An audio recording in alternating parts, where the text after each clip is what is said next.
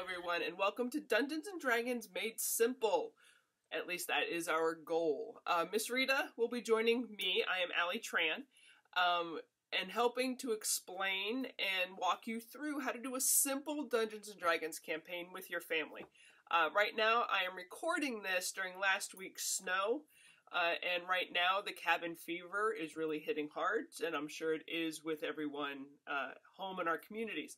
So, we are offering, Miss Rita and I, this idea to turn your living rooms one Saturday or Sunday afternoon into different worlds and to kind of help with the cabin fever and the monotony of winter and cold and not being able to go outside and do stuff as much.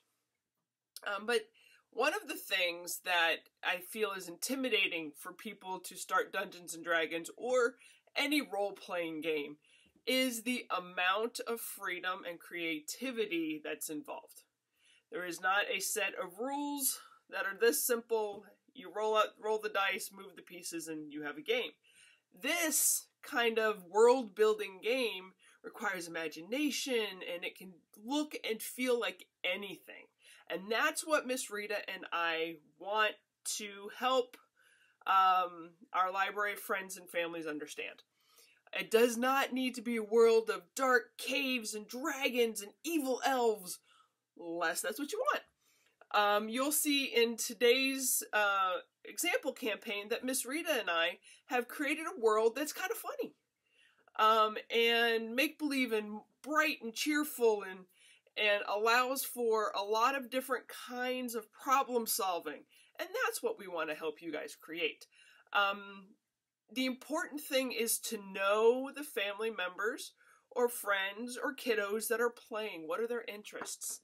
Because um, you can have a whole, an entire Dungeons and Dragons or role playing game played and not have a single battle. If your family doesn't like conflict or doesn't like um, combat. So you can do it with riddles, you can do it with puzzles, you can do uh, different things, you can add music, you can do anything you want in an RPG, which is part of the intimidation people feel trying to learn how to play an RPG. Now, Dungeons and Dragons is one of the most famous RPGs out there. And it's been around I think since the 80s and there's books and there's manuals and there's you know classes and and all kinds of races and different abilities and armor classes and all of this. And while that's fun and engaging, it can be a lot to tackle at first. So, we are hoping to take some of that world development and boil it down to something simple. Um, the there are a couple of parts to a Dungeons and Dragons um, kind of a campaign style campaign that you're going to want to make sure that you look at and we'll identify them as we go. But you're going to need characters. You're going to need um, someone to be what's traditionally called the dungeon master, but um, more recently that term is being changed to game master, which I think is more appropriate. So you'll need character playing characters, you'll need a game master. You will need a goal. What is the campaign trying to achieve? Uh, you'll want to create a war a world that this campaign will take place in, and you're going to need a map. Um, something visual so people can see how they're going through their world, but you can also um, enact that world in your living room.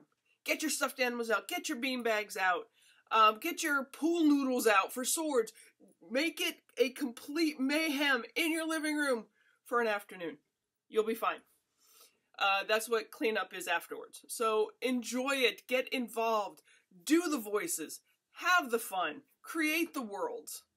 And empower the kiddos in, in your world to problem solve, to create the world with you. It's not simply an adult led process. Uh, and we'll get more into that, but I really want people to understand that this is a freedom of imagination, an escape, um, engaging with your family maybe in ways you haven't been able to during this pandemic, um, especially if this is not a kind of game that you typically play. So enjoy.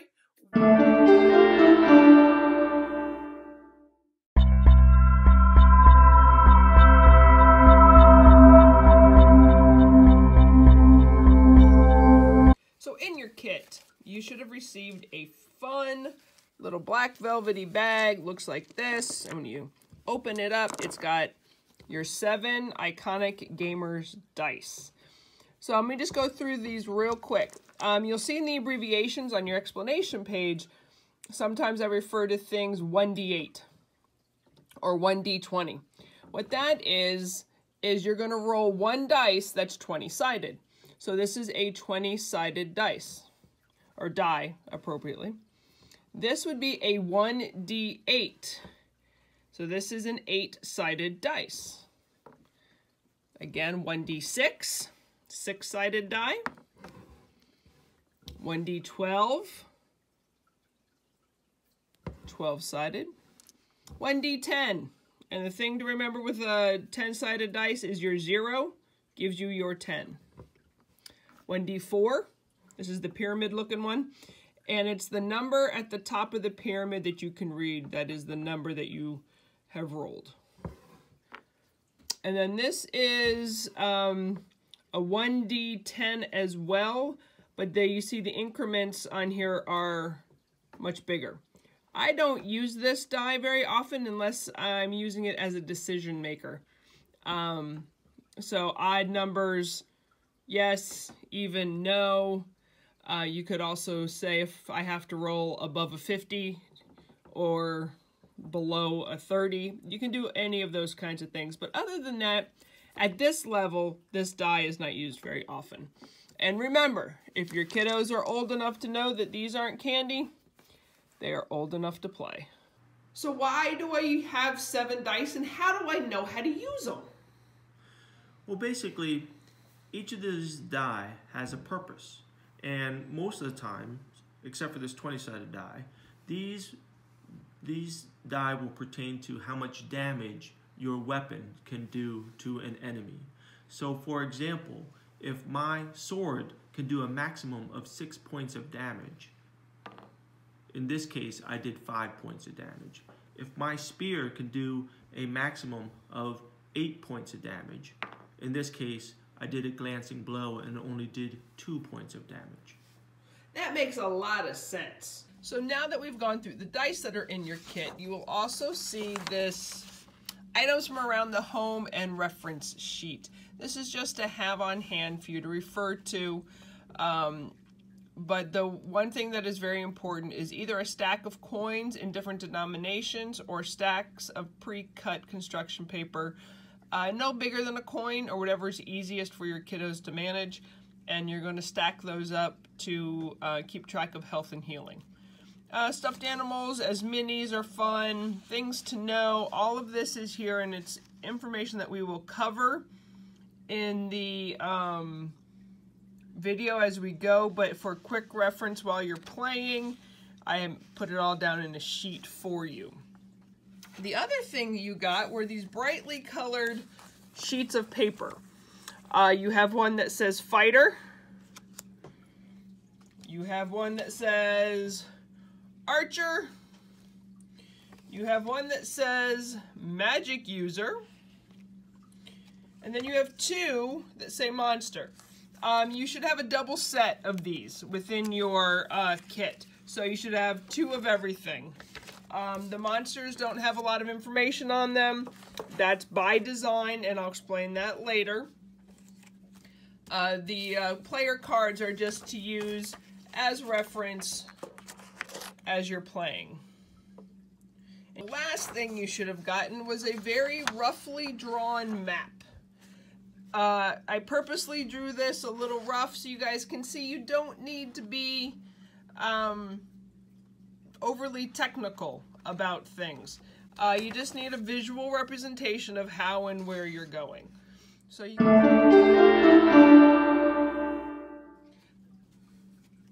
The next thing we need to consider is making sure you understand the abbreviations that we're going to run into and use throughout the game. First one is hit points. Hit points are the same as life or health in the video game world. Um, hit points means how many hits can you take before you are no longer an active part of the game. You have an NPC or non-playing characters. These are characters that are typically managed by your game master. They are individuals that you'll run into on your trek. So your it's Mr. Grounds is the barista or Miss Grumpus, the gossip, who comes in and gives us information. Could be someone you meet along the trail trying to sell you something or to knock you off your focus. Non-playing characters controlled by the game master. Then you have playing characters. These are typically, if you're not the game master, you are a PC. These are the active members of your campaign party. All members are playing. While it's not an abbreviation, it's a concept you should know. Range, how many blocks or inches away something is. So if you're throwing a magic missile, you need to be with a range of 20 blocks or 20 inches. Uh, a sword only has a range of one block so or one inch. So that's the concept of range. And finally, just to review, dice. So if you're told to roll a 1d8, that's a that's one eight-sided die. If you're told to roll a 1d6, that is one six-sided die. In more advanced games, you could be asked to roll 4d6, so that would be four six-sided dice. And those are all of the abbreviations that you need to be aware of. Okay, so now we're talking hit points. We're getting closer to this game. Um, it is important to know that in the process of this game, you don't need to necessarily roll in advance to get your hit points. If you have an impatient group of young kids who want to get moving, you can wait to roll your hit points when you first come into conflict with somebody, with a, a non-playing character. So we have the eight-sided dice.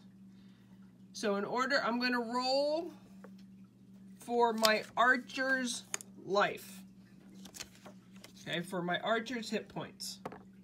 Oh, my archer's hat. My archer has eight hit points, so he's a strong character. And I'm using a dry erase marker to write um, the hit points down so we can reuse these over and over again. So if you have a dry erase marker, that is ideal. So now I'm gonna roll for my fighter. Ah, he has seven. So I'm going to write down my seven. Then my life for my magic user. I would recommend, if you have older kids, make them the magic user at first. Only five. Because the magic user is a little more involved. If not, just guide your kids through it. It's all good. Um, so what this means is my art, my magic user can get hit five times before uh, she's no longer movement in the game. My fighter can get hit seven times with seven points of damage, and my archer can get hit eight. So that's kind of as simple as it is to roll for hit points.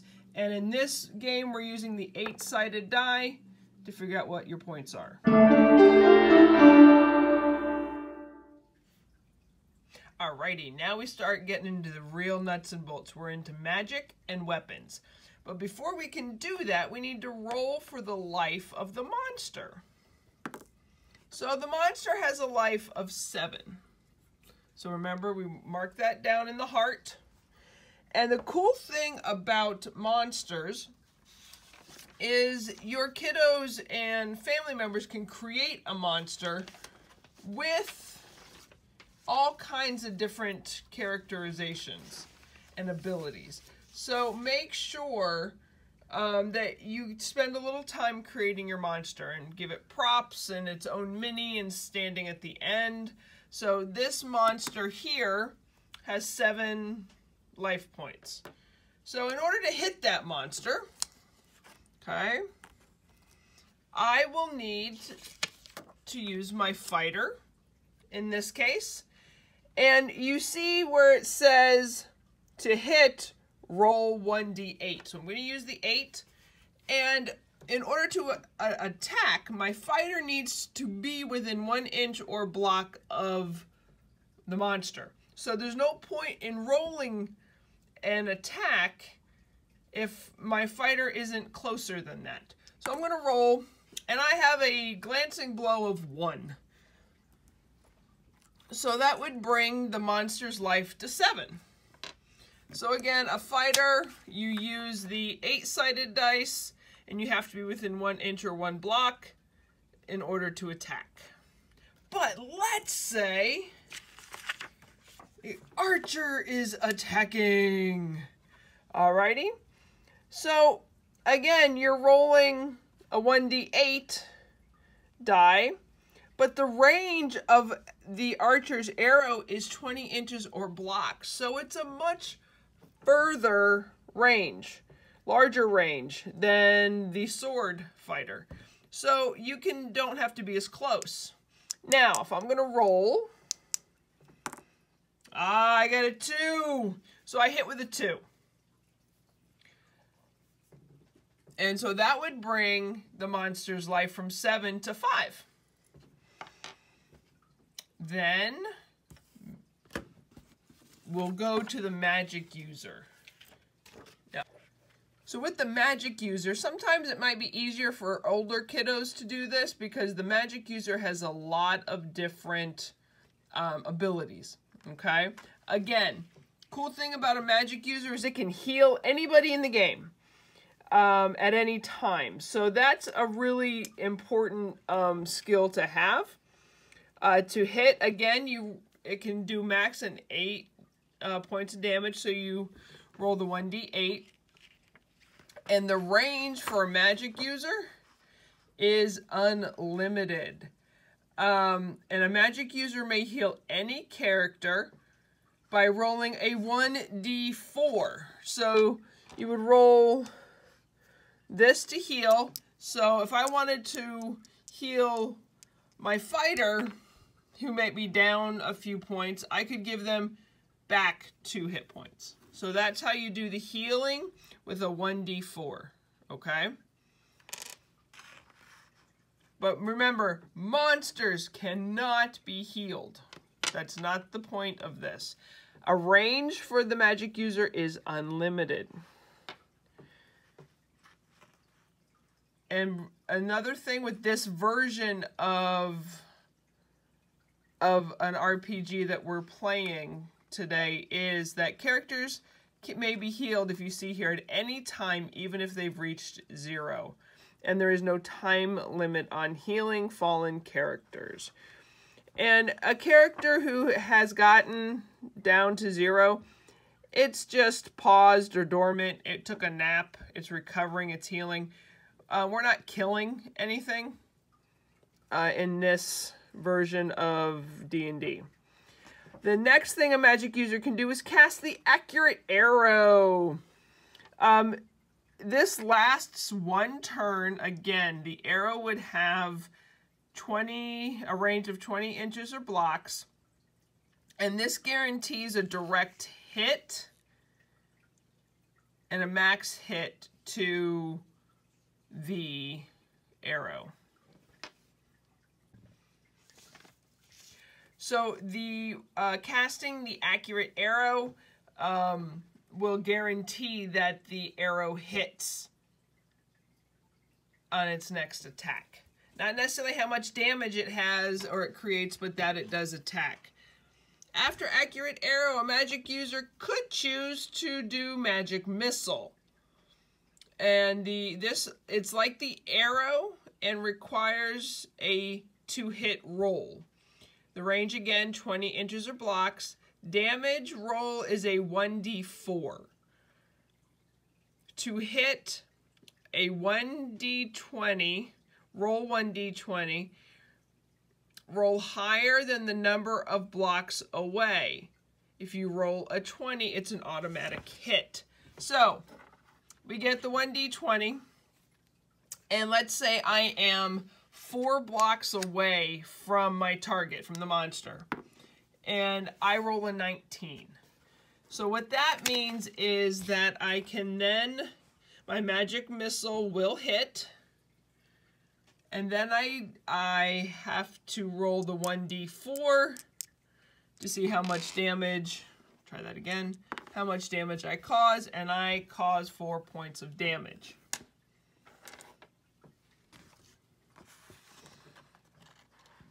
And then the last thing the uh, magic user can do is conjuring a fireball.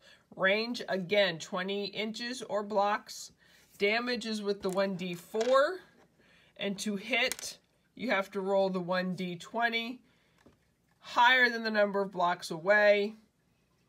And if you roll a 20, you get a direct hit. So I'm going to say I am 12 blocks away from my target. And I roll a 15. Whoo, that was close.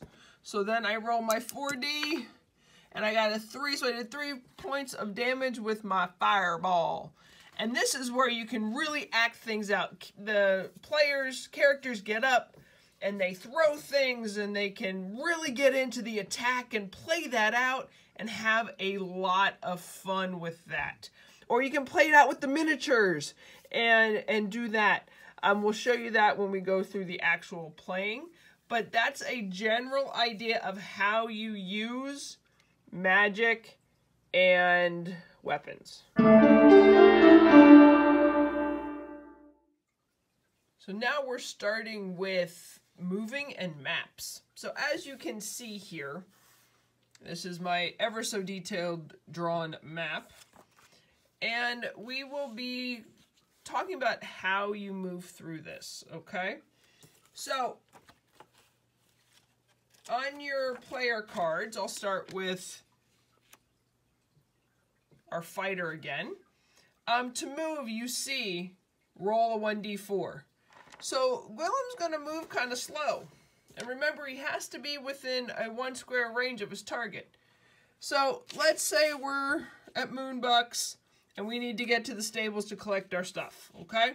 So I'm going to roll,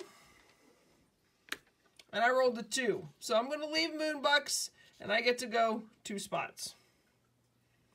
Now at this point, because we're at the beginning of the game, the game master could say that you're just automatically traveling to the stables. That's okay for a travel like this.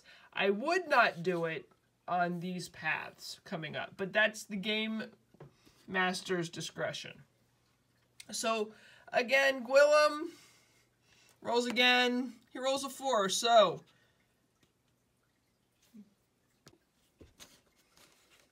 Okay, so Gwillem is currently, I'm going to put a G here.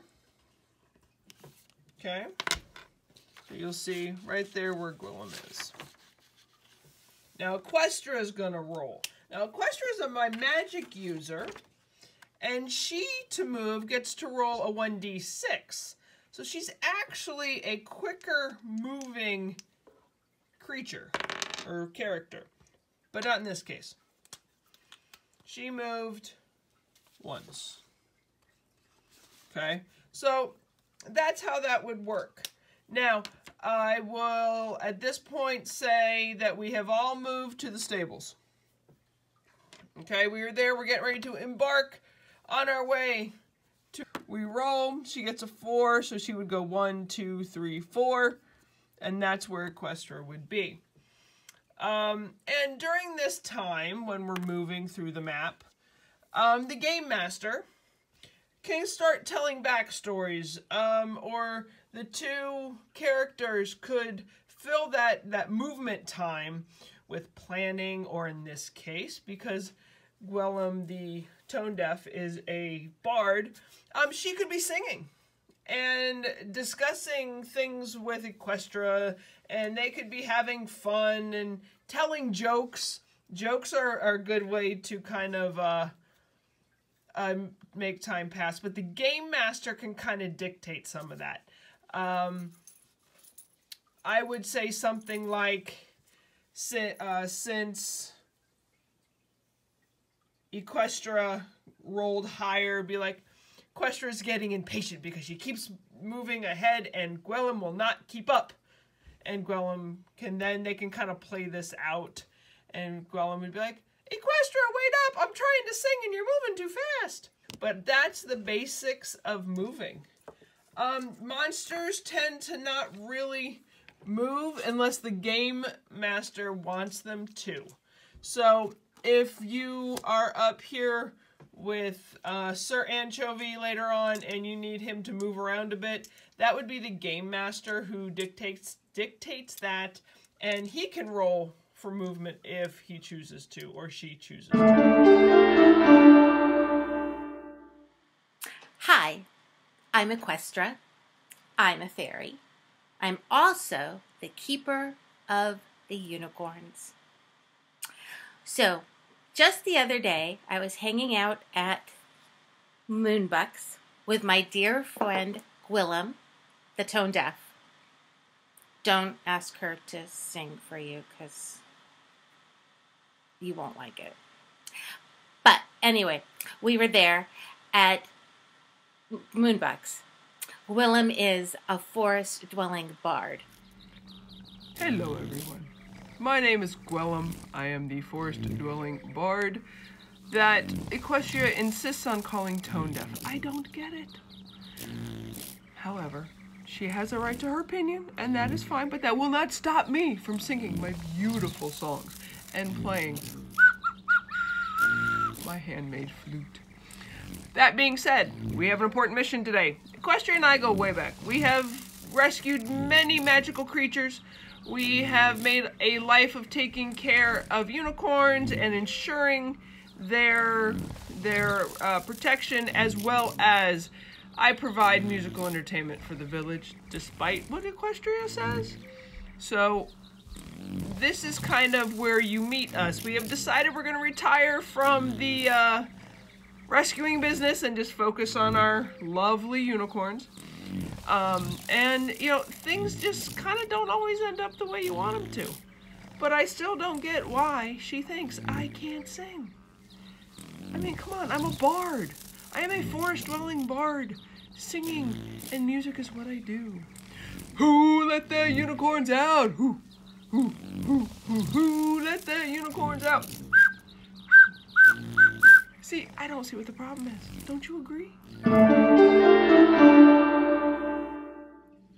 So as Equestra was telling you earlier, she and I hang out at Moonbucks all the time.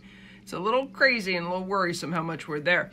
But uh, she started telling you our story, and we were hanging out at Moonbucks, doing our thing, drinking our coffee, when we get rudely interrupted. And that's where Equestra will pick up the story. She's much better storyteller than I am. You'll have a lot more fun listening to her tell it.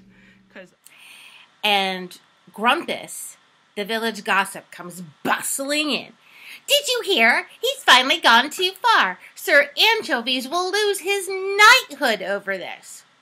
And Mr. Grounds, behind the coffee bar, says, What about time? What'd he do now? He's locked all the unicorns in a magic paddock and is invisible.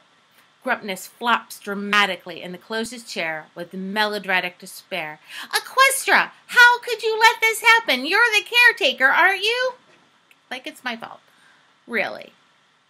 Gwillem slammed down her almond milk, extra foam, no sugar, extra cinnamon chai latte, and she slapped me on the wings, exclaiming, We got this! I know we said we'd retire, but it's for the unicorns. Without them, our realm will not exist. They hold magic in their freedom and spirit. Being locked away will only diminish the magic and creativity of our world.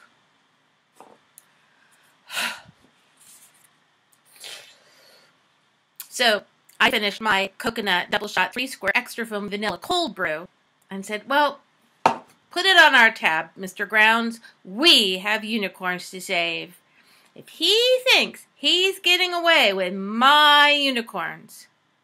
So Gwillem and I went back to the stables to gather supplies, masks, and a map. We need to decide if we are heading to Sir Anchovie's by way of the Saucy River Either way, much of our time will be spent in Sir Anchovie's land. so we need to be careful.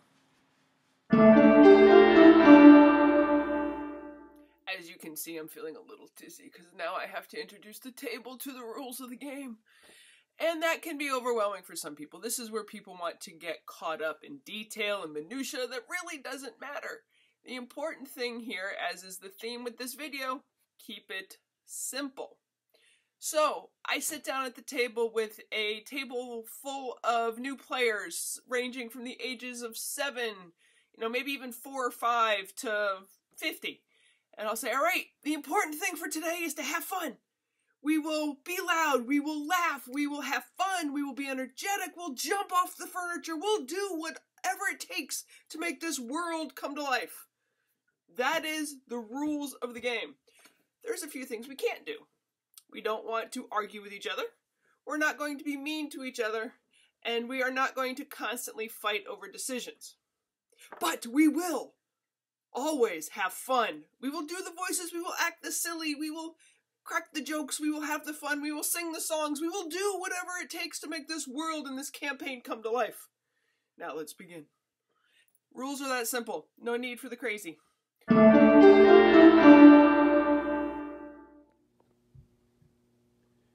So right now I have set up the world of minis on a daybed we have in our game room. And let me introduce you to our minis. This is Equestra's mini. So I will be moving the unicorn cat through uh, our world. This little guy is Gwillem, the bard. So he will be moving, or she will be moving through the world that way. And this is our archer that we will pick up along the way. And this is a non-playing character, an NPC. This is going to be Miss Grumpus as she comes running into um, Moonbucks, complaining about Sir Anchovie. This will be the Mushroom Forest. And the panda over here will be the dump trucks that uh, we have to figure out what to do with. And then this, as you can see, is the Monster Dump Trucks monster playing card. He has a hit point or life of seven. He is strong, he is slow, and he uses sonic location to find out uh, where his target is. And this cute, adorable Darth Vader will be Sir Anchovie the Putrid. So, this is Sir Anchovie the Putrid's monster card. You can see from his card that he is clever. He attacks using riddles, so the end of this will be a battle of wits, and he loves to make a deal. He also has the ability to see very far away. And then as you can see through here, these are my cast of non-playing characters, NPCs that I can grab as I need. So here are uh, and Equestra enjoying their morning coffee at Moonbucks, discussing and chilling and planning their retirement, as Equestra told you earlier. Then in comes Miss Grumpus. Ah, everybody, no way! You are not going to believe this, Sir Putrid, the Sir Anchovie the putrid, I'm so verklempt I can't even talk straight, has kidnapped all the unicorns in the forest and has them locked up in an invisible magic paddock. What are we gonna do? Oh no! And this is where. Ah! So worried that he falls off his stool. Equestria, what are we going to do? Crescia is thinking very contemplatively as the cat unicorn does. All of a sudden, Gwillem gets the, gets an idea. We got this. No worries. Let's go to your stable and collect our supplies so we can go save the unicorns. At this point, as the game master, I would just approve the automatic travel to the stables to collect supplies. Um, there's not really much information gathering that's happening at that point. If you wanted them to run into an NPC and have a conversation, maybe some more clues, you could definitely do that at this point. Um, and in that case, you would want to roll because then they have to decide if they're going to talk to the NPC, if they're going to ignore the NPC, all of that. Um, so at this point, they're automatically traveling to the stable and collecting their belongings. Okay, so before we can start moving, we have to decide which direction we're going to get to S Sir Anchovie. There are two ways, one by the Saucy River and one by the Mushroom Forest. So let's roll and decide which way we're going. We can use a uh, 1d6 to decide. If it is above 3, we go to the Mushroom Forest. It's a 4! Mushroom Forest, here we come!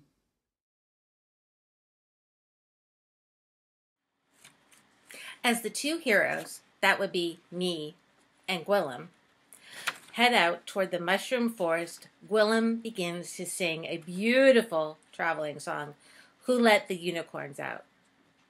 You, know, you, you probably knew it. Who let the unicorns out? Da, da, da, da, da. I sing it so much better than Gwillem does. But I had to really keep keep up at an oddly quick pace. With Gwillem lost in her song and me lost in determination, we failed to notice the young Lego archer following us.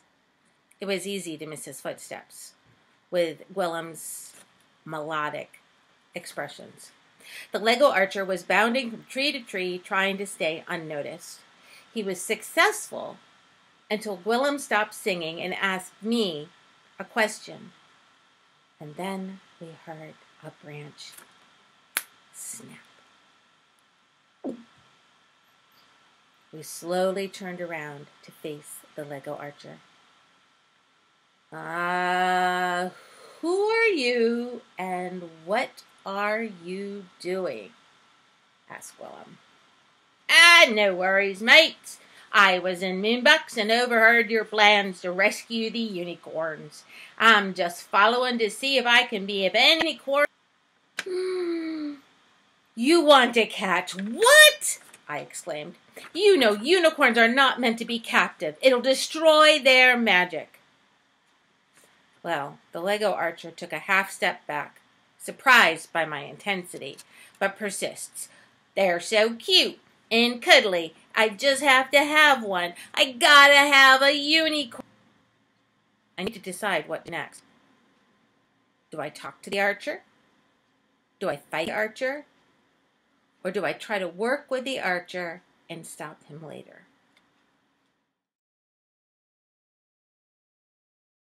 So now the traveling must begin. We have our dice, we have our minis, we have our map. So we need to move, if you remember correctly, to move 1d4 and Equestria gets a 1d6. So we need to make sure we have both of those dice handy. So I'm going to roll Gwillem's move first. So Gwillem gets to move three from the stables. One, one, two, three. G. Then Equestria gets to move four. One, two, three, and four.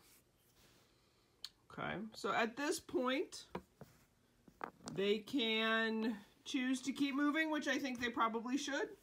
Um, and they can, as they're rolling, the Game Master can pretend uh, conversations where Gwillem is, Equestria, wait up, you're going too fast. I don't like it when you don't wait for me. Haha, I will take you over now because I can move four spaces. One, sorry, one, two, three, four. Sorry. One, two, three, four. G. Well, mean, you just need to be patient because I've got five. One, two, three, four, and five. So as Equestra and Gwillem are moving through the forest, they're getting closer to their uh, archer. What are they gonna do? Do to do do to do. Do do do do do do do. So they're moving along. Actually, it should Gwillem should be back there. Alrighty, let's move again. Gwillem goes first. I'm gonna move my rolling station there. Three. One, two, three. Equestra. Ah, where's my six-sided? Four. One, two. Sorry. One, two, three, four. Equestra.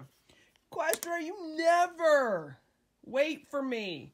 I know you need to get to your unicorns, but come on. Quiet, Gwillem. I'm hearing something. I am hearing something and I'm not liking it. Equestria, you just want me to stop singing. La la la la la. Gwillem, I said quiet. Okay. So while they're waiting to decide, or while Frank, the archer, is waiting to decide, hear the decision of the two fearless heroes. Never mind, they were a little startled when Frank jumped from the trees. Uh, they have a couple of options.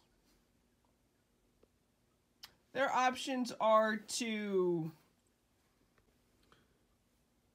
So Gwillem and Equestria are slowly discussing this archer's fate. In order to make their decision, they will be using a 12 sided die.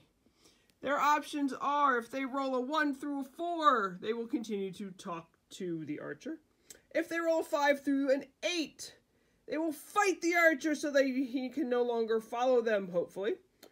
And if he rolls a 9 through a 12, they will allow the archer to join their team and then hopefully talk him out of kidnapping a baby unicorn. So let's roll. Maybe. We roll an 11. Yes! He gets to join the team, so we have extra set of hands, and it gives us an opportunity to talk him out of his poor decision making and selfish behavior with wild animals. So we find out that the archer's name is Frank. In order, he has a, we rolled for a hit point of 8, or his life is 8. To move, he rolls a 1d4, and to hit, he rolls a 1d8. His weapon is an arrow with a range of 20 inches or blocks. Now, if you remember, Frank and Equestria can work together because she can cast an, a uh, spell called Accurate Arrow. So as they work together, as we get closer to the mushroom forest, that becomes important.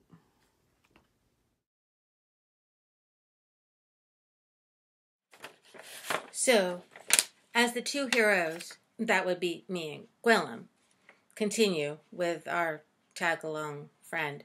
Through the woods, we follow a trail that is continually getting damper with every step, and we hear a low rumble.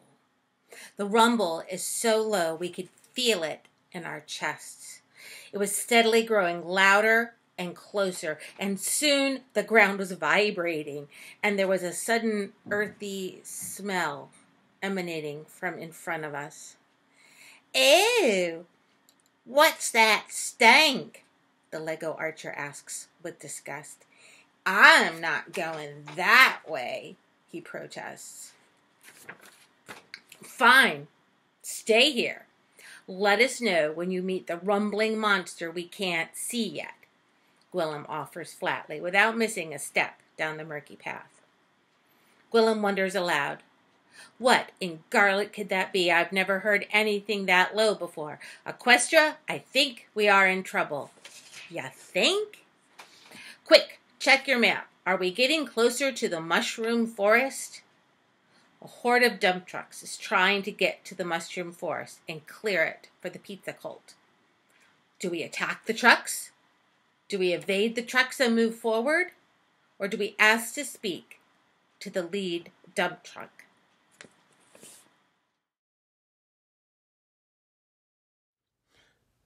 So now the three heroes. Well, okay, two heroes and one questionable character are setting out closer to Mushroom Forest. And they hear this low, almost a bark or rumble sound coming as they go. Now remember, as they're walking, things get grosser and damper and wetter as they get close to the Mushroom Forest. Alrighty, at this point, you know how to use your map. You know how to use your dice. And you know how to interact with characters. So what we're going to do now is I'm not going to play out the whole journey to Mushroom Forest. I'm going to let you imagine that in your own living rooms. And we're going to get to the dump trucks and show you a battle or a, a conflict that um, can happen. And once we play that out, I think you're ready to go and freelance on your own. I think this will be so exciting. Alrighty, so now to the dump trucks. As you remember, our ever so scary panda dump trucks have a life of seven. They are strong, they are slow, and they have sonic location. As our heroes are walking towards the uh, mushroom forest, you'll remember they're hearing this low rumble. That is how our dump trucks are locating both the forest and our heroes. So, let's say our heroes are getting close and are ready to interact with the dump trucks. So here's our map. As you can see, Frank, our archer, has moved up. He has a range of 20 inches or blocks. Equestra is our magic user. She typically has a range of 20 unless she's healing, then it's unlimited. And Gwillem, our fearless sword fighter, only has a range of one inch or block, so it's a good thing he's close, because otherwise he'd be useless. Um, so that's how we have progressed, and we are interacting with the dump trucks. We have three choices here. So again, I'm grabbing my 12-sided die because we have three choices. We can attack the trucks. I don't know, they're kind of big and burly. We can evade the trucks, which means completely ignore them and move forward. Or we can ask to speak to the lead dump truck and see if we can uh, talk some sense into them. So again, 1 through 4 is attack. 5 through 8 is evade. And 9 through 12 is speak to the lead dump truck. So here we go. We rolled another 11. Woohoo! So we are going to talk to the lead dump truck. So now we have to decide who goes to talk to them. Is it Equestria the Charming, Fairy, Sweet and Cunning, our questionable character we don't know if we can trust yet? Or Gwillem, the tone deaf and slightly um, clueless. So let's roll. We got a four! So Equestria will be going to speak to the big bad dump trucks. Excuse me, Mr. Dump Truck? Mr. Dump Truck? Brrr. Now listen here, I need you to stop going after the mushroom forest. You cannot do that or I will get you with my horn.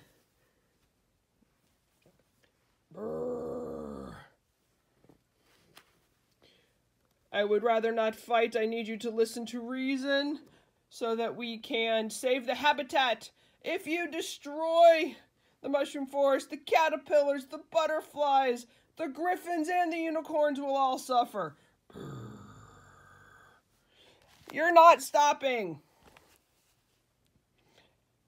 I do not wish to fight you, but if you do not listen, you leave me no choice. So now, what do you think the best plan would be? I think Frank should fire an arrow, or first of all, Equestria should cast um, accurate arrow to Frank and let Frank shoot. So, what we do to cast accurate arrow, this is where this is where the game master can kind of make up some rules. Um, accurate arrow, as you can see, uh, on the archer guarantees the archer's next attack will hit. Lasts one turn, range is 20 inches or blocks. Um, the game master can say you need to roll to see if accurate arrow, the casting of that spell, actually hits your archer. So, we are going to grab the six-sided dice. Equestria is going to cast accurate arrow. If she hits, in order to hit, she needs to roll higher than a three. She rolled a three. She failed to hit. No! So the archer now, Frank, has to shoot his arrow because he is in within one, two, three, four, five, six blocks of the trucks. So he can roll his 1d8. So Gwillem's going to roll. He's shot his arrow. Let's see how much damage he's done. He's done a glancing blow. So with Frank's hit, the monster goes down to a life point or hit point of 5. Okay. Now, the monster gets to uh, roll some attacks back. So, right now, my monster here is going to attack Equestria because Equestria is the biggest threat right now. So he's rolling his damage. He goes to two. So Equestria, the magic user, quickly goes down two, three points. Okay. No, now things are picking up. Gwillem gets to go. Now remember, every move has the ability for a player to move and attack. So, we're at Gwillem. Gwillem rolls a 1d4 for his moving. He rolls a 3. So he gets 1, 2, 3. So now Gwillem is right here. Now he can attack. Gwillem rolls a 1d8 to attack the monster, and the monster's life is down to 5, so he could wipe the, the dump truck out. he rolls a 4, so the dump trucks are down to 1. Wow, this is getting exciting. Alrighty, so now Frank needs to move. And in order to move, Frank rolls the 1d4. He's another slow mover. And so we get one. Not real helpful, Frank. But we're getting there. Remember, he's an archer. And he's going to attack. All he needs is to roll a 1, and we can continue on our quest. He hits a 7! Yes! And the monster, the dump trucks, are no longer a threat. They have run away back to their habitats.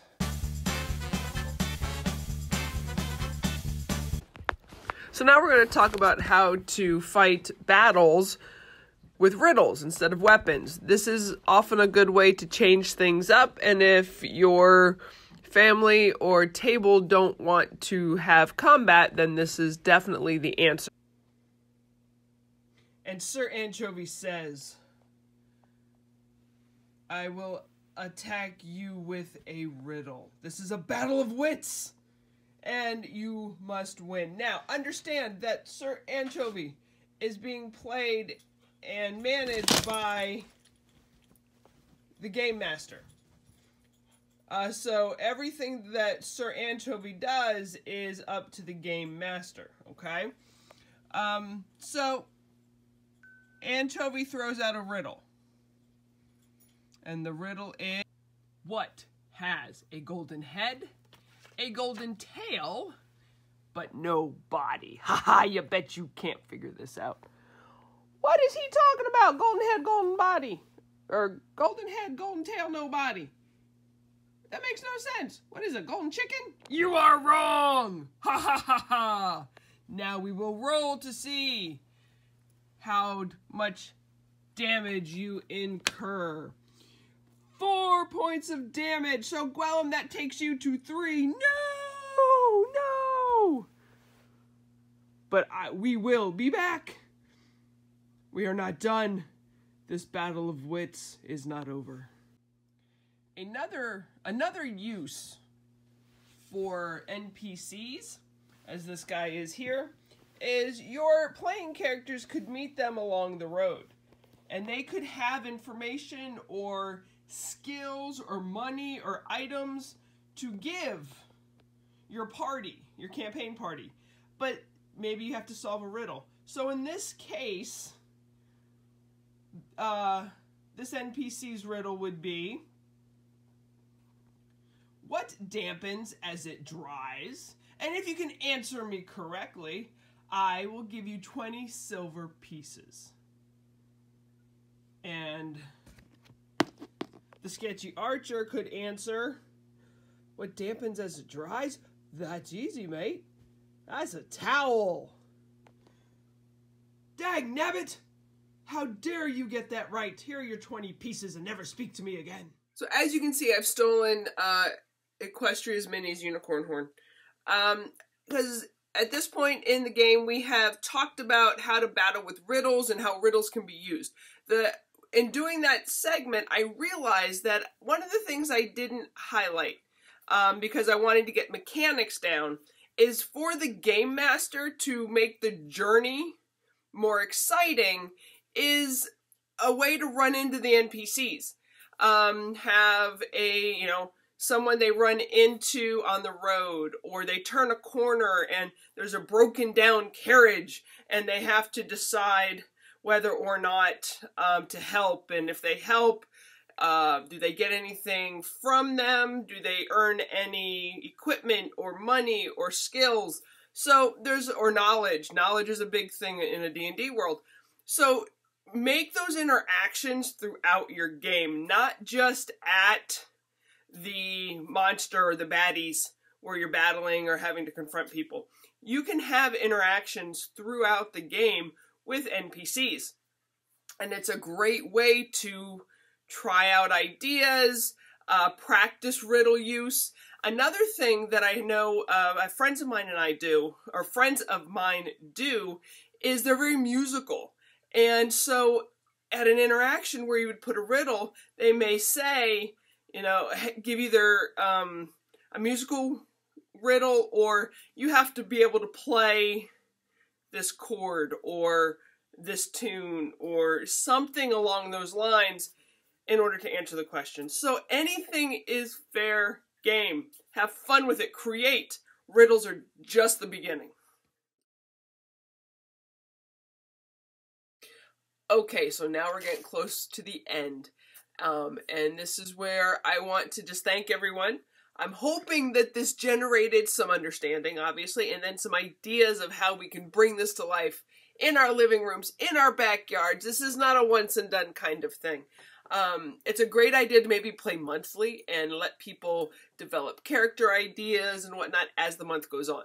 Um, I'm getting ahead of myself. I want to make sure that everyone understands the resources that Miss Rita and I have put in the comment section of this video. These resources are important. The basis for this entire video is from a article that we stumbled upon called DMing for Your Toddler. Um, it's by Cory Doctorow, and it's from issue one of Gygax magazine. Um, so it's written uh, from the point of view of a father trying to get his daughter into playing Dungeons and Dragons. There's also um, videos from experts, gaming experts, which Miss Reed and I are not gaming experts, um, on how to properly uh, be a game master for a table of kids uh, as you get into more traditional RPGs. There's also a link to riddles so that you can uh, have a wealth of riddles to use throughout your games.